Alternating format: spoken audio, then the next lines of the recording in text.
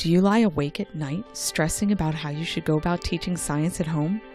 Have you ever wondered what exactly does a good science curriculum contain? Don't stress about teaching science anymore. Hi, I'm Paige Hudson, and here at Elemental Science, we have boiled down the lofty ideals of teaching science into three easy elements you can use in your home. Each week, you need to have one hands on science activity. You need to gather information from a reliable source. And you need to keep a record of what you've learned. And to help you out, all our programs contain these three keys in an easy to use format so that you can focus on actually doing science rather than on having to create plans. So, whether you prefer lapbooks or notebooks, encyclopedias or living books, science in the lab, or in your backyard, we've got you covered with several lines of award winning science curricula.